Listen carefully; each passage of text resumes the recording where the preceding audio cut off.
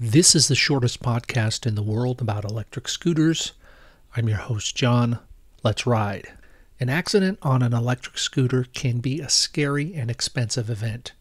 If it involves a motor vehicle, things can get really scary and really expensive really fast.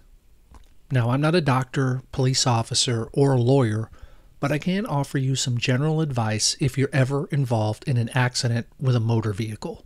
I adapted these tips from Beam Peak's video about bicycle accidents, and you really should check it out.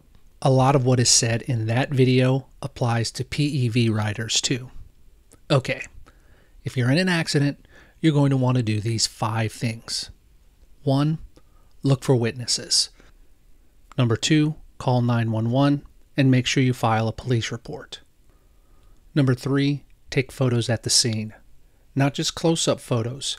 Make sure you include the entire scene with your scooter and any equipment or damage to the vehicle as well.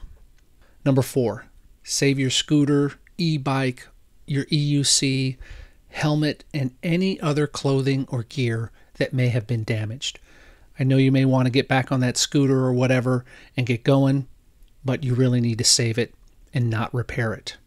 Finally, number five, take notes.